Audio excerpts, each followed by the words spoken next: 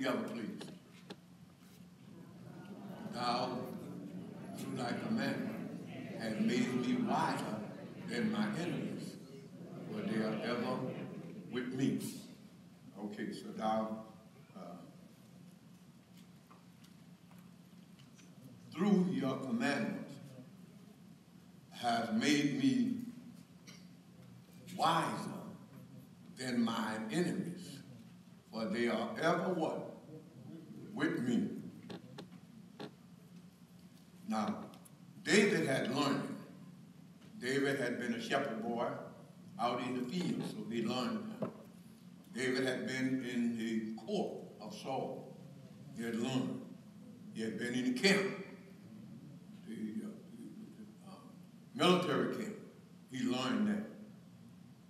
And yet he says, it was through your command that I became wise.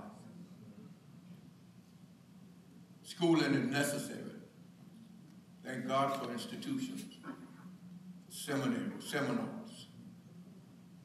True wisdom, knowledge and understanding comes from God's word. That's why you hear me emphasize God's word. God's word. media, uh,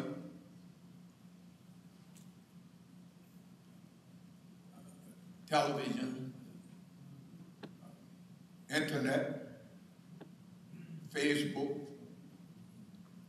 have created an audience, especially the media, have created an audience, of skeptics and doubters, those who refuse uh, to, those who refuse to accept that there is anything in life that is absolute. And so then, uh, what I mean by that is that uh, we have been presented with, with, with hundreds and thousands of alternatives. Media presents us with thousands of alternatives uh, a day. Thousands of alternative, alternatives a day. You can do this, you can do that, you can buy this, this idea, this philosophy, on and on and on. And as a result, we have, the media have contributed greatly to creating a world of skeptics. And because we, we, we, we, are presented with many alternatives. we have developed a secular, worldly mindset. And when we come to church, we bring that worldly mindset to church. And we interpret what's going on in church. We interpret the message. We interpret a statement or a saying in, in, in, in, light of our skepticism, our secular uh, uh, initiation. Am I talking? I'm not talking with you. I'm saying because the media has uh, contributed to developing an audience or society that is full of skeptics, because our schools have embraced the philosophy of secularism that said that by reasoning and logic, science and logic and reasoning can solve all of your problems. Secularism said don't involve God or faith in uh, uh, any explanation of life because of the fact that there is no such thing as absolute. You have to decide for yourself. Our culture, different cultures have to decide for themselves what is right, what is wrong, what is best, what is not best. This is what we call in our science, sociology, cultural relativism, which means that if this culture here want to do it that way, they can do it that way. If this culture over here do it that way, nobody's to say that your way is wrong when it produces satisfaction for you. These are the kind of people, these are the kinds of mindsets that represented in our, and you're part of it. If you don't recognize and understand that you're a part of it, then you become the, the, the uh, uh, uh, determiner of what, and the judge of what, as I've had time what the preacher said, what the Bible says, and so forth and so on. Because of that initiation into what we call secularism. And, and so yeah, but you know, school says this. And, and, and uh, philosophy says this. And there is a behavioristic science. And, uh, you know, some folks are neurotic. Some folks are just psychotic. Some folks are just schizophrenic. So, so man said that, so we buy into it, and we say, boom, this is who it is. And so if you act a certain way, we fit you in a certain category. And we go to war with it. But who's to say all of that is right? Man wrote a book and I studied with him in college. You all right, I'm all right. You okay, I'm okay. okay. Yes. So we become the determiners and decide ourselves what is what. And so then that all the, the killing that is taking place today, and I will move on to the lesson because I want to cover some voices that take the today. Everybody, the ones, the ones who committing the crimes and whatever it is, they're crazy. It might not be creepy. This fellow here said that he didn't have a girlfriend. The other one said that whatever. You know. I know some crazy folks. I'm not going to call them personally, but they don't go around killing people. There's a lot of folks that are, are really in mental mental wards and mental institutions, but nobody ever accused them of ever what. And so I'm simply saying that our school, see, uh, secular education is anti-God. This is what secularism is. I will go into all of that, but just to let you know that at least I have been exposed to it. We got what we what we call pragmatism. We got what we call modernism. And then after World War II, they came out with postmodernism, which said that, that that's not right. Then we got what we call uh, secularism. We got what we call pragmatism. Then we got what we call utilitarianism. And all of this. Is, this is our schools. And so then, as a result of this confusion, folks come to church and they listen against the background of all of this initiation, all of this exposure. And, and, and, and, so the preacher bearing down, he don't have but uh, uh, but uh, 35 minutes, maybe 40 minutes a week to try and get this over.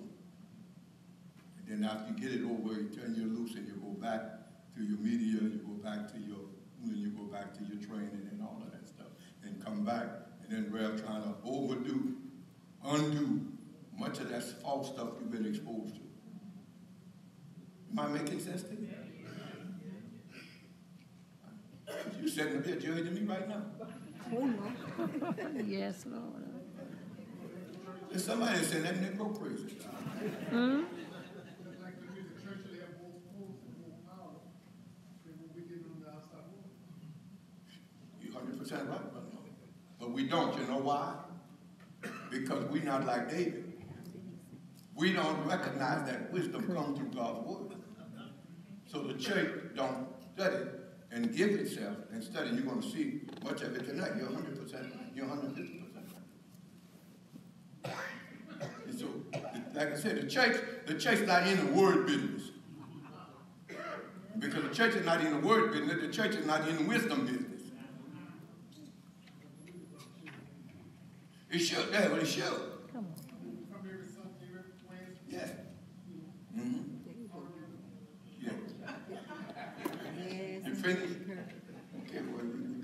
But anyway, it, it, it- should. But Satan has been successful in getting the church to relegate its interest and concern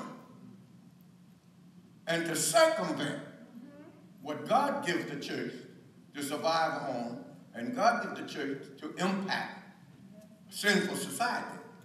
Satan been successful in getting us to circumvent that and to take another approach. So that we spend less time. We, we, we, God said, if my people call by my name shall, I'm gonna say, pray. And so that y'all ain't pray. Come together and pray. Satan been successful in keeping the church from praying. But give them music on. And folk hanging all off the balcony. You don't hear what I'm saying? That's true. Should I say, it's not the people that's in church that doing majority. Deceive our people. You can say it that way. It's to collectively, us together, in our fear. It just like we had a few people change the praying school, but they stay in the Christian. Yeah, yeah.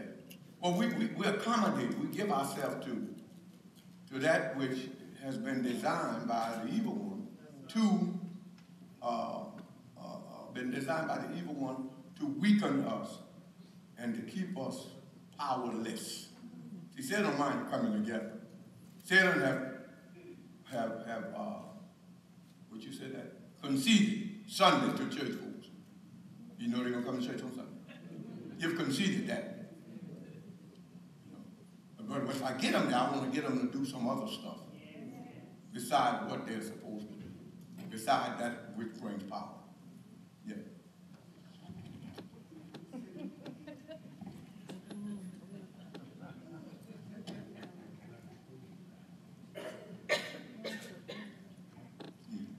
Would you consider to be abnormal if a person expresses himself in terms of his prayer, his worship, and his relationship with God? If that expression is based upon something that he has been focused on, or mm-hmm. something he's focused on, or something he's going to be focused on. Mm-hmm. Because the focus of life tend to, to, to create or determine really who we are and where we're going to be. Mm-hmm. So if I was focused upon something, and then I turn around and express that focusedness in terms of a prayer, or in terms of a worship, or in terms of a relationship, would that be abnormal? It, it's all depends. It, it might be normal for one some person and it might be abnormal for another person. Because of the fact that we focus on that which we know or what we think we know. So then talking about focus, we can focus on something, uh, uh, but what we focus on may be wrong. It may be a wrong ideology, it may be a wrong interpretation, it may be a wrongness that we have in, in, in, incorporated through tradition. And so I'm gonna focus on it. But again, I may be focused on that which does not represent reality and truth. Right. I, I, Pastor, I agree with you hundred percent with what you just said, you know, that sometimes we focus on may not be reality or true. But you know, sometimes we get focused on something, even though that focus is in the negative, Mhm. but because of a relationship that we have, say, with the commandment of God and understanding His word, Mhm. we can take that negativeness and present it to God in our prayer in the form of a positive solution. Well, that calls for understanding. We got to understand that. But if we don't understand that, what we're doing, then uh, it, it, it, it, you know, it leaves us again. If if we if our reasoning, our logic, and our focus are negative and faulty, then the conclusion, whatever conclusion we draw, is going to be faulty as well. You're going to be, you you can't think wrong and, and, and, and come up with the right conclusion. Okay, but anyway, that's what uh, I wanted to share. But let me let me, let me move on. And uh, David had gotten his learning as a youth from these different places I told you. But he says that how now we ask, how did he gain wisdom? He tells us, "Thy commandment has made me wise." This true wisdom is from God. Do you hear me? True wisdom is from God. Uh, find it 2 Timothy, third chapter, 15 verse. 2 Timothy, third chapter, 15 verse. Yeah. Okay, look. What Paul says to Timothy. He says that from a child thou hast known the what? Holy Scriptures, which are able to make thee what? Wise. The Holy Scriptures make you wise unto salvation. Holy Scripture will lead you to salvation in Jesus Christ because it teaches you that salvation is acquired by placing your faith in Christ. So if you put your faith in Christ, this is the message the church is to be sharing with the Lord's word, reaching out to the world, to lost men and women, boys and girls. This is our man, man concern, call it. Our main emphasis, our main interest is to uh, uh, share with the lost person. You see, we're uh, uh, in a day when we judge church service by how good we feel, how good the choir is, and how good this one is, how good Ralph preached. When the church has primarily been called to spread the gospel, to preach, to teach, to share with men that God is offering salvation through Jesus Christ. If you place your faith in Him, then you are saved. That's what we. That's what the church is called to do. How many lost people this year have you witnessed to? That's your answer. So let's go on to verse uh, 16 and 17. Why this? All scripture is given by inspiration of God. These are not man's words. These are the scriptures, uh, the, the result of God using men to bring to lost, the lost world his message.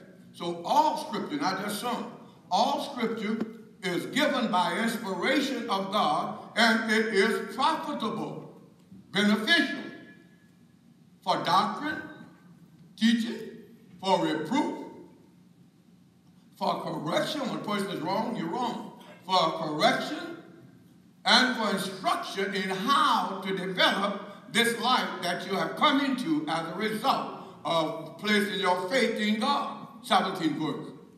That the man of God.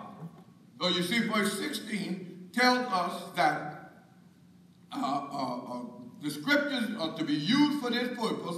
And if the man, 17 verse, if the man of God adhere to this, the, man that the man of God may be perfect, thoroughly furnished unto all good work. I cannot do a good work. I cannot fulfill my calling. I cannot benefit the church. I cannot glorify God if I don't use the scripture for inspiration, for correction, for reproof, for rebuke, and for instruction in righteousness. That's what I'm called to do, Sister Jackie. That's what I'm called to do. And folks get mad with me because I do what I'm called to do. I'm called to preach the, I'm called to, to reprove and rebuke. You're wrong, you're wrong. If this is wrong, you rebuke. Our problem today is that we don't have enough folks and preachers and pastors in this day and time with enough courage to tell the truth because they're concerned about membership, are concerned about money, concerned about pleasing folks. That's, that's the that's the, the, the, the, the debt of the church. That's the weakness of the church. That's why not, not too many folks pay serious attention to the church. Because the church has lost its power. And it lost its power because it deviated from that which gave it power. And him who gives him power. That is Christ. That is his word. So Paul, David said, all scripture, not some, all scripture is given, I'm sorry, David said, the scriptures have made me what? Wise. True wisdom is from God. Now what? Go back to it. No, go back to Psalm. Go back to Psalm 119 and 90, 90 what is 99? 90. Okay. Thou through thy commandment have made me what? Wise. Through thy commandments. You see the word commandment? I want you to focus on that. Commandment. Got it? Have made me wiser than my enemies. For they, commandments, right? For they are ever with me. Do you see that? I want you to get this. Your commandments have made me wise. For they, you see that word they? It's in the Hebrew singular, which means it. He sees it as he sees the word of God as a complete whole. That word for they is in the Hebrew singular, which means for it. And so he can read, Thou through thy commandment has made me wiser than my enemies, for it is ever before me. It's a composite whole. It's a from, from start to finish, from Genesis to Revelation, it's a composite whole. And you can't pull part of the scripture out of here and build a doctrine or defend a position because this book is a whole book. And only scriptures can define and interpret scripture. So when you read Galatians, he talks about let every man bear his own burden. Two verses later he said, for every man should bear each other's burden. How can it be both ways? He mm. tells us one verse, let every man bear his own burden. Then the second two verses later he said, bear each other, bear one another burden. I'm, I'm burden. So if we pull one scripture out, we're going to say, you got to bear your own burden. Somebody else to pull other script out and say, well, we're supposed to bear each other's burden. And then somebody else to conclude, well, there must be a conflict. Because they're saying two different things. No! They're saying the same thing. But they're approaching it from different, two different standpoints. Because the Bible, the Bible, Jesus said to, to those Pharisees, he said, if your uh, scribe interpret this as being this way, and I interpret the scriptures cannot be broken. So, what men and women consider sometimes to be uh, uh, uh, a contradiction in the Bible, there's no contradiction that comes from the ignorance of our mind and the limitation of our mind. There is no contradiction in the Bible. We believe in the plenary inspiration of the Bible. Plenary, verbal inspiration of the Bible. And, and, and those who say, well, that's a, that's a conflict, it looked like this, it looked, it's only because of our limitations. And because of our, many cases, our lack of training and our lack of schooling. But ask the person who, and ask the people who have studied and understand the language, then what seems to be a contradiction can easily be cleared, cleared up. Look what he says. They are ever before me, or it is ever before me. I keep it in front of me. I keep the word. Are y'all with me? I keep the word before me. He says, ever before me. I don't lose sight of it. I don't keep it before me when I come to church on Sunday and take Lord's Supper. And then when I leave here and go somewhere else, I put something else before me, put it in the closet, put it in the corner, put it in the drawer until I come back next Sunday and say, I keep it ever before me. When I'm at home, it's before me. When I'm dealing with my mate, it's before me. When I go on my job, it's before me. Our challenge is to keep the word of God before us. You go to that doctor and you're taking that test, mammogram and prostrate test, whatever it is, keep the word of God before you that said, I will never leave you, I will never forsake you. Keep it before you.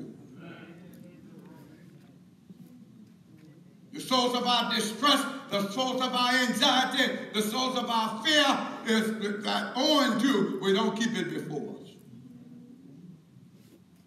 Keep the word before you. When you're dealing with contrary people, keep the word before you. If you don't keep the word before you, you're going to get in the flesh. You're going to operate in the flesh. Yeah, Rev, I know what you said, but I can't put up with this no more. I mean, hey, keep the word before you. And you'll see the words you right there. Hold your peace, I'll fight you out. The reason why I got wise is because I gave myself to the Word of God and I kept it ever before me. Not just give myself the line of it, but I give myself to follow its instruction and its direction. Am I helping somebody? Listen. Make the Word of God your best friend.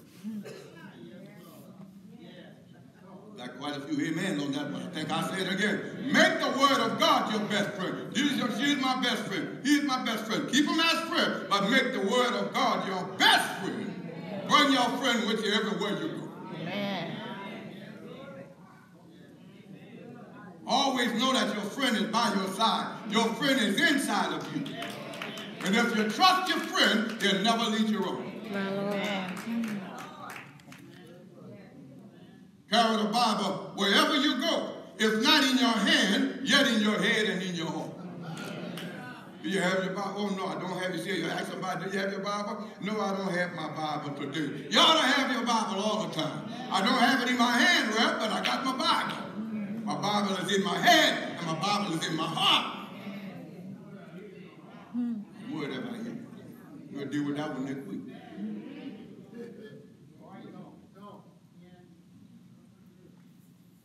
The remembrance of God's word will lead you to right management. If you remember God's word, you're going to manage your affairs in the right way. If you if, listen, listen, listen to me. If you remember God's word, you're going to manage your affairs, and your affairs won't manage you. You're going to manage your situation, but your situation won't manage you trouble to church today is that too many Christians allow in their situation and their circumstances to, to manage them. Let's go to verse number 97. 99, I'm sorry, 99. Let's read together. I have more understanding than all my teachers, for thy testimonies are my meditation. I got more understanding than all my teachers. You see, I've been taught by them, but I got more understanding than them. I surpassed them. I surpassed my teachers. Listen. So then, here it is. For that testimony on my meditation. I meditate on your word. I think on your word. See, not only don't just read the word and then and then go about your business. Keep that word with you. meditate on what you. Look what he said. He says, I have more understanding than all my teachers. You know what he said? He said, I went to Bible class and I was taught. But I meditated on the word. And I learned more. And if, if Rev don't watch it, you exceed him. I am gonna let it happen. Those who don't labor in the word sometimes, see, what, one reason why we got problems with the churches like so much today is because the pew have outgrown, in many cases, the pulpit. So somebody say, well, you know, this, this not gonna cost the mustard. I'm gonna have to go somewhere where I can be fed. I'm not getting what I need. Now we have the uh, builders generation who was born before 1946. And the builder's generation are the ones who stay in the church and stay in the even if they don't have but five members. That's the builder's generation. I got to uphold it because mama and grandmother and grandfather and my cousin and my nan. I never forget my nan, my paran, and all of this stuff. They stay in the place where they're not being fed, they're not being, they're not benefiting, but they stay there. This is the, the builder's generation before 1946. But then you get the baby boomers. They come and say, well, I think I need to move because I need this. And now, since 1980, you got what you call a millennium. The younger generation, they say, well, ain't no big deal to be a part of it. And if you don't, big deal to be a part of the church, the institutional church, I can serve God with. I'm more concerned about what the church is doing on the outside than what the church is doing on the inside. And so what they do, they look at the church and they see the church spend all this money on itself the church uh, just gives to itself. And they said, no, we, we believe that the church ought to be helping other folks. And so the building, I'm sorry, the, the, the, the millennium, they have stopped coming, basically stopped coming to church. And, they, and when you stop coming to church, then uh, tithe and money and, and offering decreases. And when it decreases, then they don't have the what? Money to operate efficiently like it should. Y'all know what I'm saying? Mm-hmm. And that's why you have almost 10,000 churches closing every year in North America, in, in, this, in America. Because that's the, that's a change. Folk fail to recognize and for fail to realize that we are in a different time and a different day, we don't preach a different gospel, but we have to apply it in a different method, use different methods so that we can reach people where they are. The preacher has been called to move people from a lesser life to a higher life.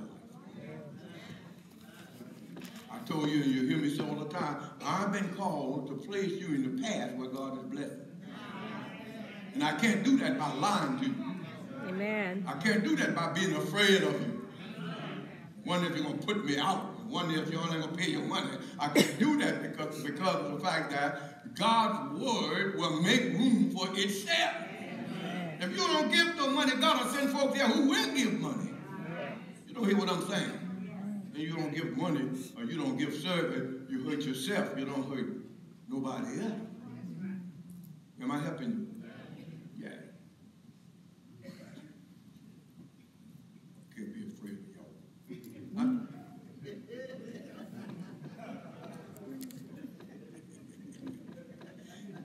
Go verse number 100, 100.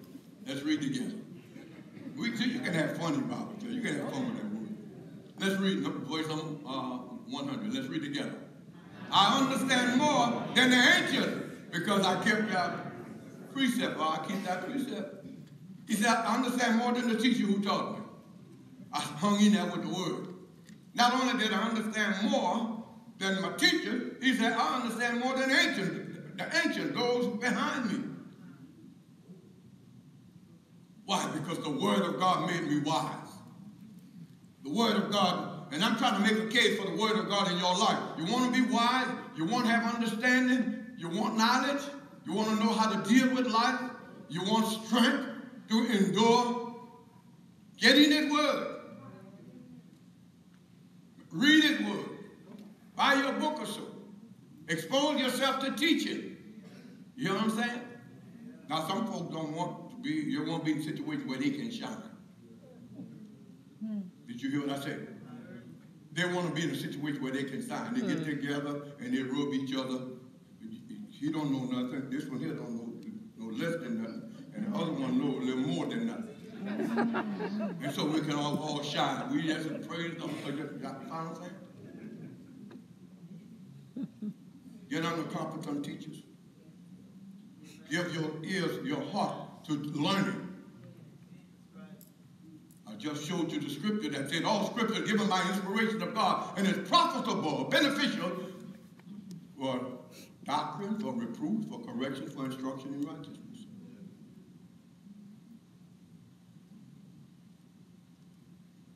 Verse number 100. Heavenly wisdom is the answer to carnal policies. I like that. Do you hear what I said? Did you hear what I said? Heavenly wisdom is the answer to carnal policy. Carnal means flesh. Acting in your own mind and doing, trying to do it your own way and trying to understand it, you know, and, and believing that you can solve your problems and handle your situation without God. Carnal, uh, heavenly wisdom is the answer to carnal policy. Carnal policy is that tit for tat, butter for fat. You kill my dog, I kill your cat. Carnal policy is I don't care what nobody say, I'm going to do what I want to do. Carnal policy is to plot and plan to get back at somebody who have lied on you, somebody who have hurt you, and somebody have you feel have done you wrong. Carnal policy is I come up with a scheme and a plan that I want to implement and introduce, or whatever the case is, that has no biblical basis and no spiritual foundation. That's carnal policy because it looks good. Carnal policy is looking at the electronic television and seeing this big church over here doing this and reading about somebody else doing something here, and then come out, Rev, I think it'd be a good idea. That's carnal policy. Spiritual wisdom is the answer to carnal policy. But spiritual wisdom said, no, baby, we can't do this because God has not sanctioned that. God will only bless that which he has sanctioned. I want you to look at it from your own individual life. And if you somebody's done you wrong, or if you made whatever it is, and then you all, all, all frustrated and angry, and you have devised uh, an approach to that situation, if it's not according to God's decree, you're going to fail. Mm. You're going to backfire. It's mm. a carnal policy.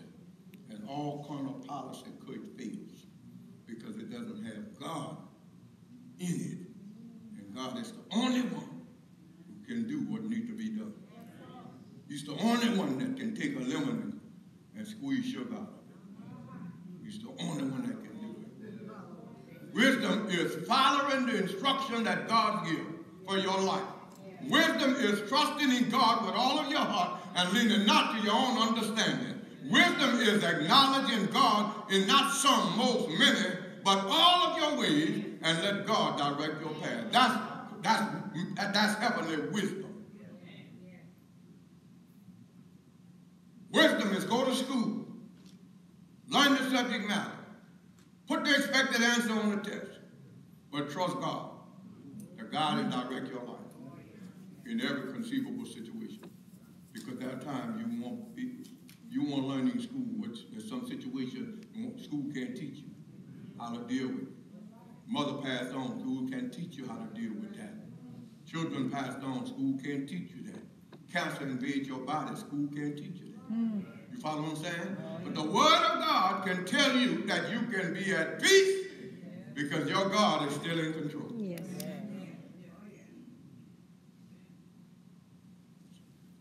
Heavenly wisdom is the answer to carnal policy. By keeping the commandment, we secure God on our side. You see, if you keep God's commandment, you guarantee yourself that God will be on your side. If you do what God say do, you can guarantee yourself that you have an anchor that is steadfast and unmovable. Listen, those who make God their friend are wiser than those who make him their enemy. those who make God their friend are wiser than those who make God their enemy. How do you make God their enemy? By disregarding his precepts, his commandments, his statutes, what he has, what he requires from your life. Listen, let's go back to that. I understand more than the ancients because I keep thy precepts. Meditate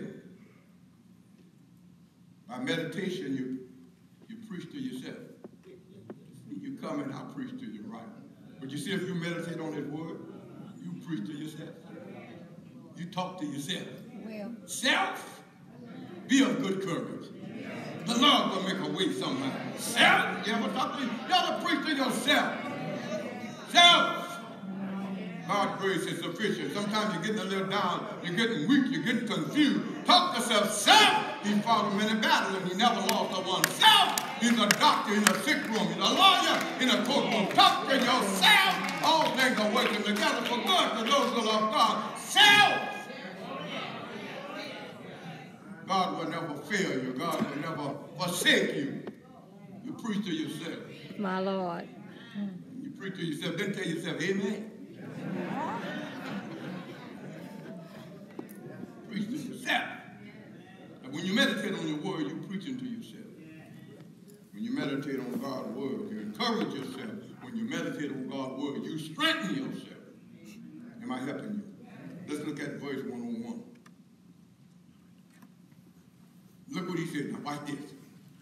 David says, let's read together. I have refrained my feet from every evil way, that I might keep thy word. I have refrained. Nobody forced him to do. Nobody begged him. Nobody had to plead with him. David said, this is my own calculation. I have studied this thing. I looked at it both back and forth. I looked at it up and down. And I have drawn my conclusion as to what's going to be my take and my position with the word. I can, I can reject the word. I can ignore the word. He said, but I made my decision. I didn't consult with my neighbors and all these folks. He said, I made my decision. I made this decision to refrain my feet from not some, but every. Listen. I have refrained from every evil way. I have refrained from every evil way. Every evil way. Listen to me. I want you to hear this. Every evil way will lead to hurt pain, suffering, and guilt. Every, not some, every. No matter how glamorous, no matter how the glitter, no matter how easy, no matter how enticing, I want you to know this. Every evil way will lead to pain suffering, regret, and. Every evil. God is in control. Every evil way. Cain, after he slew Abel and God confronted him and give him, give him his punishment, he said, my punishment is more than I can bear. It will always be. It's more than I can bear. Voltaire, the French philosopher, who said that one time back in the uh, late 1990s, 19th century, uh, uh, 50 years, the Bible will not be read any longer. And when Voltaire came to die, on his deathbed, Voltaire said, it seems as if I'm forsaken by both God and man. Hmm. By the same token, John Wesley, uh, Charles Wesley, founders of Methodist, Met, the Methodist religion, when their mother was sick friends gathered around her bedside, said, Miss Wesley, have you thought about Jesus? salvation. She said, I have not left this important matter hmm. to the last day. In other words, she said, like the old Christian used to say in, in New Zion, I, I, I, I fixed my business a long time.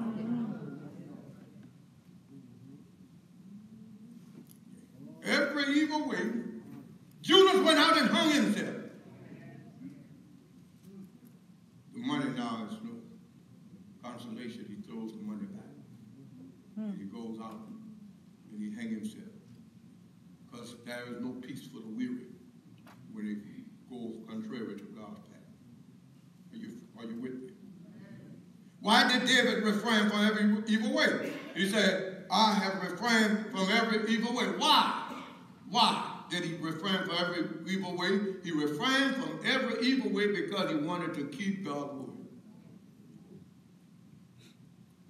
He wanted to keep God's word. God's word was valued, yes, God.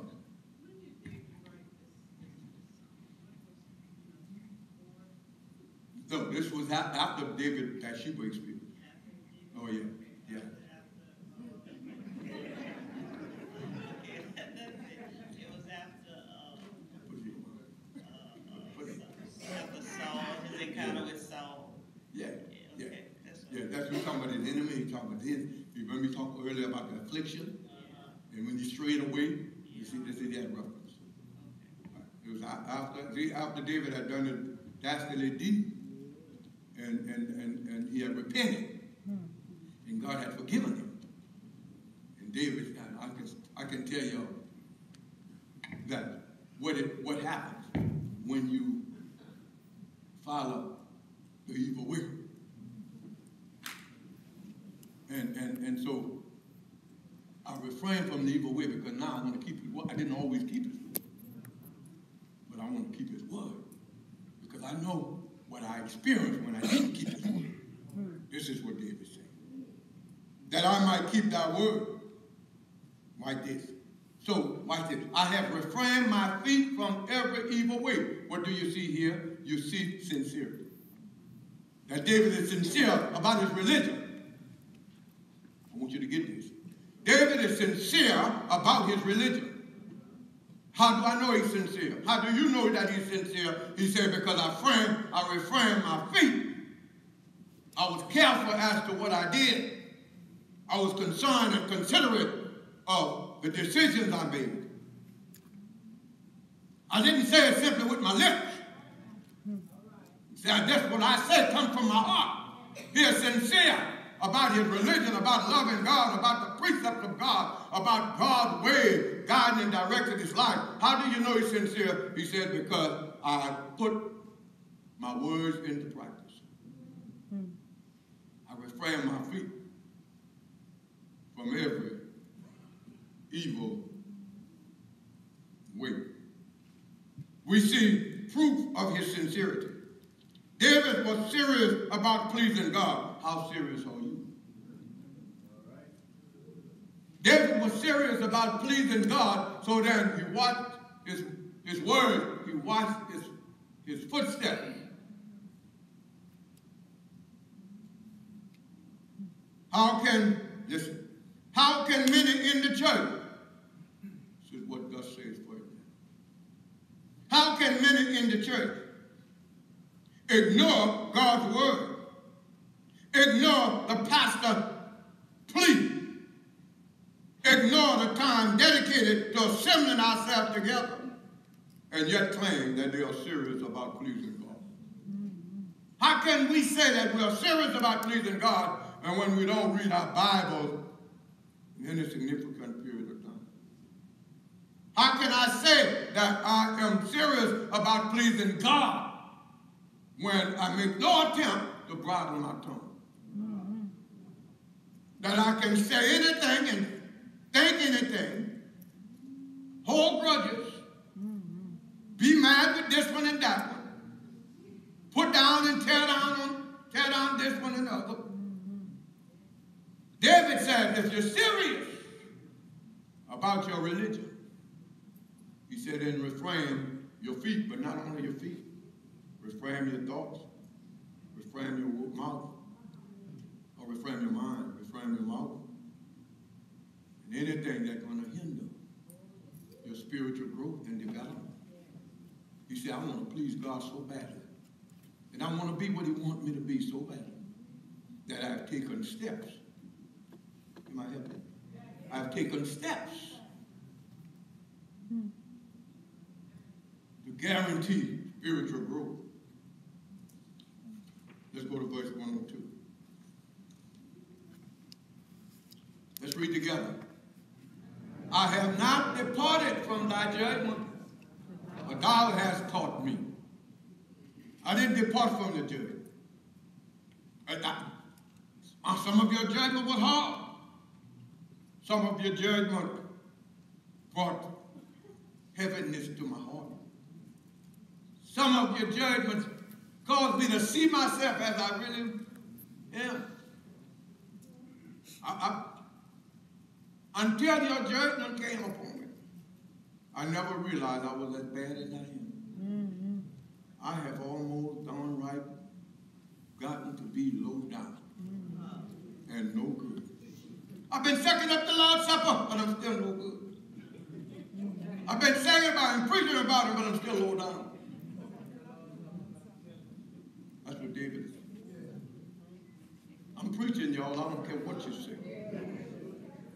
I'm preaching. David said, I have not departed from thy judgment. Your judgment didn't always make me shout. Sometimes your judgment made it me pout. Sometimes your judgment had me feeling that I never made a prayer before. Sometimes your judgment came upon me. And all I could do was cry out like Isaiah, Woe is me, I'm undone, I'm unfit, I'm unclean. See, your God's judgment will not only make you feel good, it'll make you feel bad. Mm-hmm. Your judgment will not only tell you, you you're right, go on, it will tell you you're wrong, you need to stop. Mm-hmm. So David said, I have not departed from thy judgment. I have not departed from thy, thy, thy judgment. Listen. This is David's testimony. Question, see, David's testimony, testimony is, I have not departed from your judgment, from your testimony, from your judgment, as David's testimony. David, let vision, vision, uh, envision David being called in. He's called in heaven, the court of heaven, and he stands before God. God sits on the throne and he look at David and he asks David, what is your testimony? Mm-hmm. David, realizing that God knows everything. He knows the secret of his heart. He can't hide nothing. David's testimony is that David answered to God, I have not departed from your judgment. I was preaching it on Sunday. Naturally, my question would be, what is your testimony? God called you in right now. And, and not, not, not take your life, but if God just called you in, I'm giving you a little break from the human experience. And God says, come with you. Say, come up here. No, not, it's not going to take long. And you go, and you standing right now. Right, that's, that's, that's fact. We're standing right now in the presence of God. And God is saying, what is your testimony? Can we say like David, I have not departed from your judgment. I have done everything in my power. I have taught my children, like you say.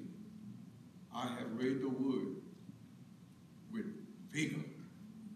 I have, I have uh, uh, made decisions that was that was was, was, was, was unacceptable to my wife or my husband. But because I wanted to be faithful and true to you, I incurred whatever consequence was. I didn't do it to keep the peace. I wanted to please you. This is why I made the decision I made. What is your testimony? What is my testimony? Preacher, I'm not leaving myself out. That's why I got y'all there. I don't leave myself out. So y'all can't go home and say, well, y'all here, you think here. I'll tell me. He asked me, where then, what is your testimony?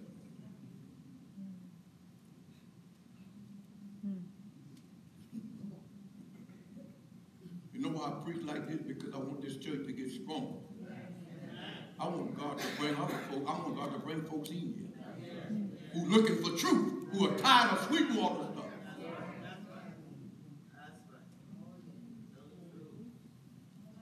Folks who still feel, I, well, I want, give me that old time religion. I'm tired of going over there where they're giving me that showtime religion.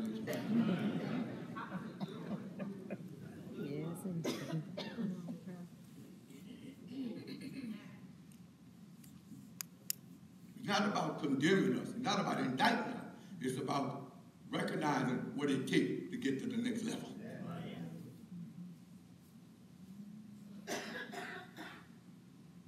Listen. He said, why was David, I showed David is constant. He is solidified. He is dug in. I have not departed. The stone came. It didn't depart It's like seventh chapter of Matthew. The rain came. The rain beat on the, the roof of the house. But I didn't depart. The wind came. The wind tried the side of the house. But it didn't fall. The flood came. The flood tried the foundation. It didn't uproot. But David said, I'm constant. Why was David constant? Why was David constant? He said, because thou hast taught me. You don't want to talk. Now what you see here is divine inspiration. You taught me. I wasn't taught by man and his philosophy. You taught me. You see, divine inspiration. The Word of God is the Word. And it will stand. It will not and cannot be altered. Man may try to alter it. Man may ignore it. Man may rationalize it. But it's still the same, and it will be the same because the Bible says he is the same today that he was yesterday, and he will be the same tomorrow. What was sin yesterday is sin today. No ifs, ands, or buts. What God rejected yesterday, he will reject today.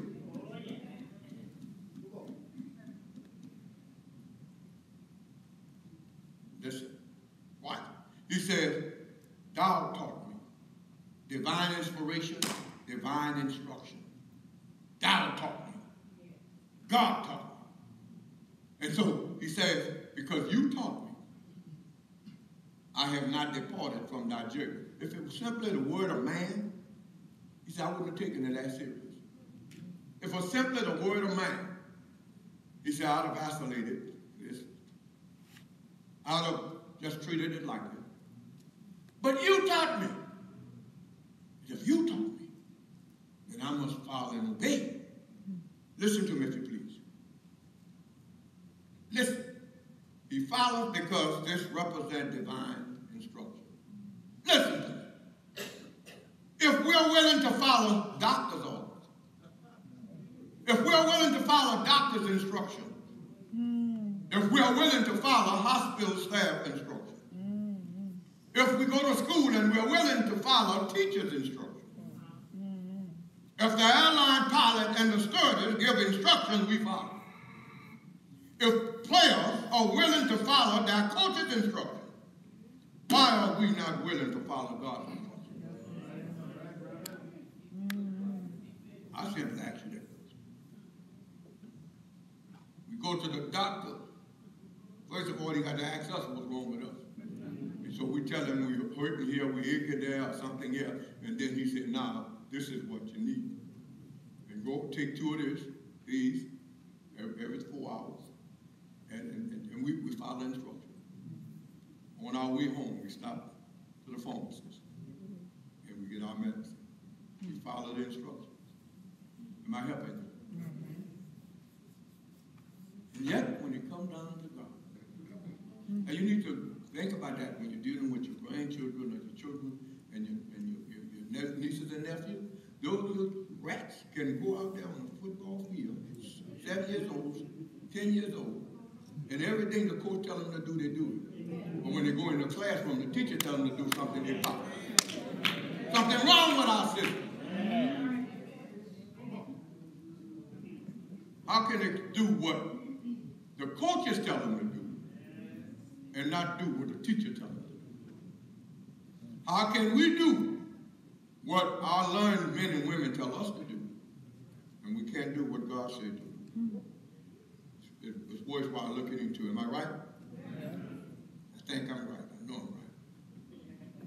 I know I'm right about that. Listen, let's look at 103.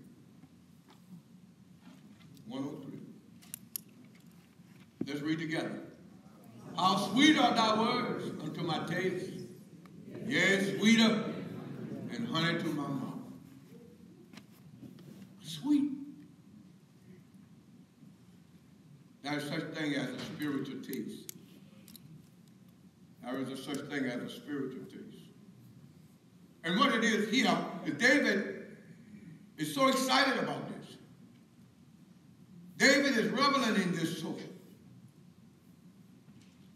God's word has made such a change in his life that David is finding it difficult to express what he really feels.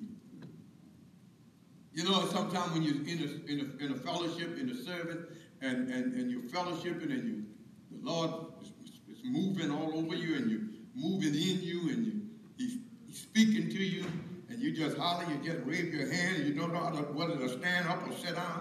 You don't know if you want to run or walk or crawl. You just don't know what you want to do.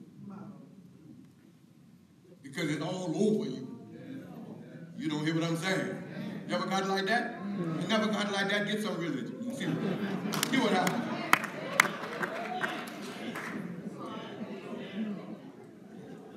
Sometimes you want to run, sometimes you want to shout, sometimes you just want to just clap your hands and wag your head. Getting gooder and gooder. That's what David is saying. This thing is sweet, sweeter than honey. God's word it soothes my doubt, hmm. heals my wounds. It's the answer that I need. I came a pouting, but I'm leaving shouting. I came here down, but now I'm up. I came feeling bad, but now I feel glad. What does he attribute it to, what does he ascribe it to? He ascribes it to the Word of God. That's what he does. God's Word provide us with sweet spiritual taste. It's better, you see what he actually saying, it's better than any taste our senses can give. And that's, that, that's your favorite food, that's your favorite beverage, whatever it is, it tastes good, right? But God's Word will give you a better taste. David is struggling to find words to express his delight and his satisfaction in God's Word. How do you express it, David? david, David's like an expression like a commercial. Mm-hmm, good. That's sweet. And, and so, so here it is. We're, we're coming to a close. I'm going to keep you all night tonight. Let's go to verse number 104. Let's read together. Through thy precepts I get understanding. Therefore I hate every false way. Through your precept, I get understanding. I get understanding, not through the secular books. I learned how to function. I learned how to make a living through the secular book, through my, but it's through your word I learned how to live. Through thy precept, I get understanding. What does it mean? What you saying? Uh, through your precept, I can discern truth from falsehood. I can discern good from evil. Your, your word teaches me what is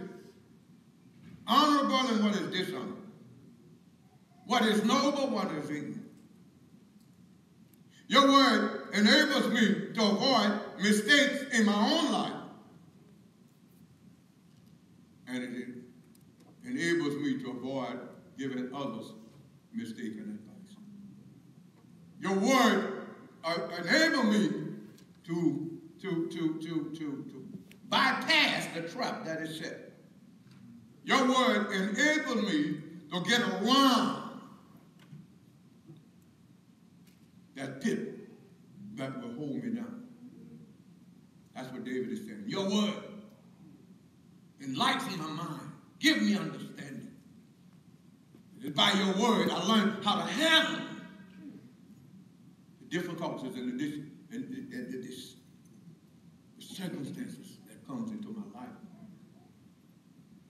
By your word, not only am I able to avoid that which is harmful and hurtful, and that which will degrade me, that which will annihilate me, annihilate me, destroy me, or that which will diminish my joy, diminish my life. He said, Your word enabled me to live at the highest level rather than the lowest level. It enables me to avoid making mistakes, and when I give advice to others, it enables me not to give them the wrong advice. I preach precept, I get understanding. Therefore, I hate, hate, watch me say, watch this, I want you to hear this because I'm, I'm bringing it to a close. I, I, I, I hate every false way, not just some false ways. I hate every false way. Listen, the way of sin is a false way. It deceives and it will ruin all that walk in that way. The way of sin is a false way. The way of sin is a wrong way. And yet, to man, it seems right. Isn't that something? We've been fighting wars ever since man. We fought World War One, and that war, war uh, was, uh, was was was designated as the war to end all wars. World War One. He said once we fight this war, we're going to be finished fighting because it's going to settle the issue. Less than 25 years or so later, was added again World War Two. Haven't we learned yet? We was in Vietnam, in Korea, Afghanistan. Have we learned yet? Man just fight, fight, fight, fight, fight. In Iraq, they've been fighting for nearly 30 years. When will we learn? When will we learn? But we've been carrying on little private wars too. We've been carrying on private wars. Rather than turn the other cheek, we've been counter-attacking. The devil is real. Show me Proverbs 14. Proverbs 14 and 12. I need but two more, three more minutes. Proverbs. Some say Proverbs. 14 and 12. Look what it says. There is a way which seems right unto a man, but the end thereof are the ways of death. It will always be that. Man's way will not bring the utopia that he so desires. Man's will will not bring the utopia that he desires. There is a way that seems right. Another another scripture proverb says that, that the ways of he says uh, the ways of death. The other one says that it ends in destruction. Man's way will all anything. That's why you hear me pound God's word to you. That's why I preach God's word. Anybody who know me uh, and know uh, from the very first time I started preaching, back there when I was about really 18 years old, I've always preached the word. Nothing else but that's the only thing will stay. And I thank God today because I preach the word. We have a fellowship such as what we have. I thank God for that. Not because of my brilliance or whatever, but because I preach the word.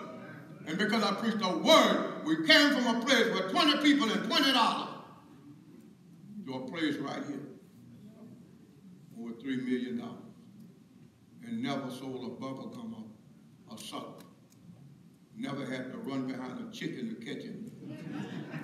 Trying to him. Because of the word, whether we like it or not.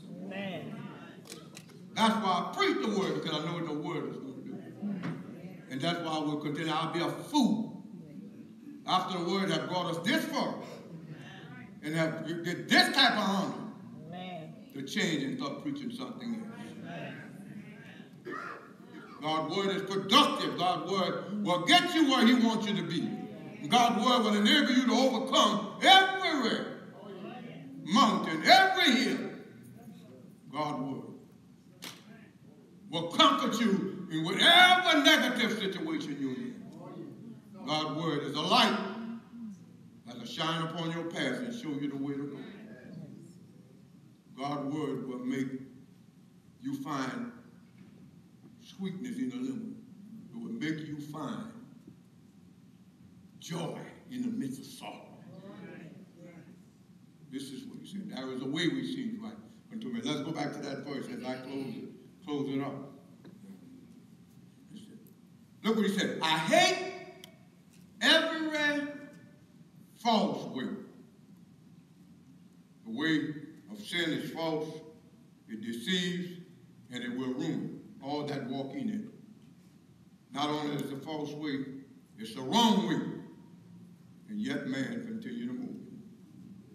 Listen, the more we understand, or the more understanding we get by the word of God, the more rooted will our hatred of sin be.